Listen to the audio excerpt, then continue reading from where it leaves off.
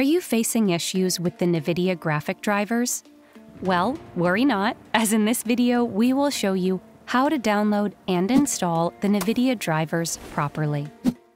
Open your preferred browser and navigate to the driver download page of the NVIDIA website. For convenience, we have provided the link in the description box below. On the website, you will have two options.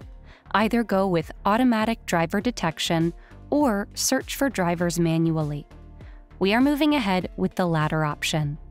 Please note that we are selecting the specific NVIDIA GPU that we have, which is the 3080 Ti.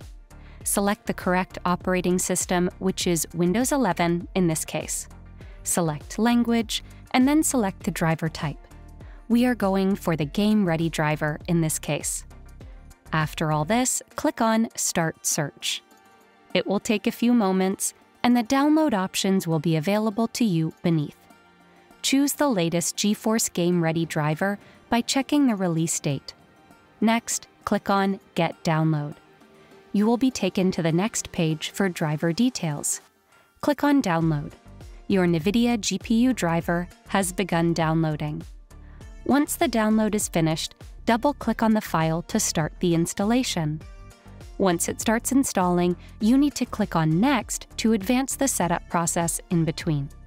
And that's pretty much it. The drivers will be successfully installed and you are ready to go. Hopefully this video will resolve the issue of downloading and installing the correct NVIDIA GPU drivers for your Windows 11 PC or laptop.